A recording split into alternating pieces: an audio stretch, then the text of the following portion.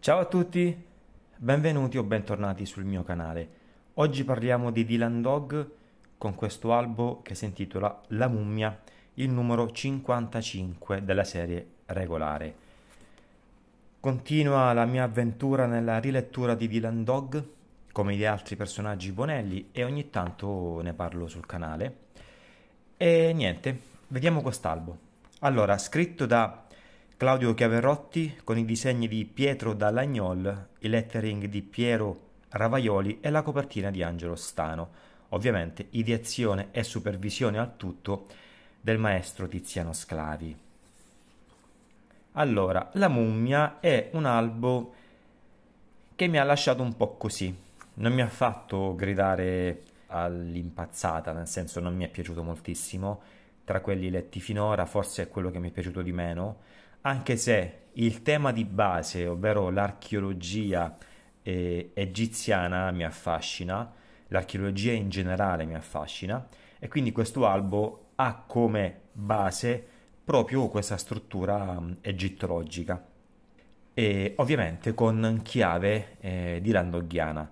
Le prime pagine sono prettamente ambientate eh, in questa visione appunto no, uh, del mondo egizio e poi si arriverà ai giorni nostri, soprattutto ai tempi in cui la storia è ambientata, nel 1991, per incominciare a raccontare le vicissitudini e del perché questo prologo all'interno poi della storia dell'indagatore dell'incubo.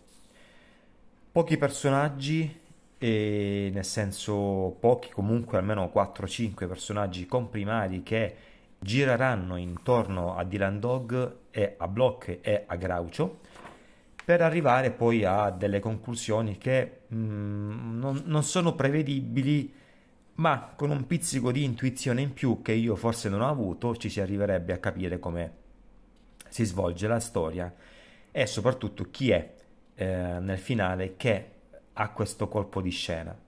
C'è qualche tocco di eh, visione splatter da un punto di vista grafico, ma niente di entusiasmante. Il fumetto comunque cammina su una linea molto equilibrata. Secondo me ci sono molti testi che potreva, che potevano benissimo essere un po' più accorciati per dare più respiro forse a dei momenti più salienti, però è chiaro, è un mio punto di vista. Comunque resta un godibile albo, nel senso che mi ha accompagnato in questa lettura in maniera piacevole. L'ho dovuto leggere in due momenti separati proprio perché a un certo punto mi aveva un po' anche stancato però devo dire che nella totalità della sua uh, visione è, è, godibile a parte gli scherzi. I disegni di Pietro Dall'Agnol non sono i miei preferiti, ma comunque il tratto di Dylan Dog è, mm, è raffigurabile e ben conoscibile, spigoloso rispetto ad altri stili che conosciamo e che preferisco, però niente male, niente male. Ovviamente Dylan va sempre a caccia, anche quando la donna non vuole, cerca comunque di eh, arrivare. Un attimo prima si prende uno schiaffo perché è rifiutato, l'attimo dopo comunque la tizia ci casca e va a letto con Dylan. Vabbè, questo è un classico.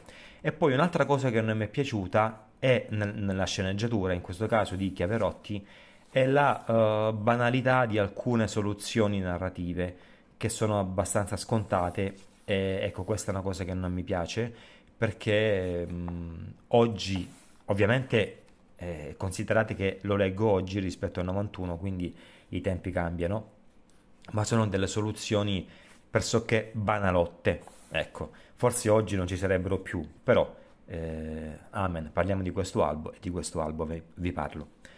Scusate il gioco di parole. Comunque, fatemi sapere se voi l'avete letto, questa è una pillola appunto di, di Landog della serie regolare che sto leggendo e man mano cerco di portare tutto. Dylan, numero 55, La mummia. Eccolo qua.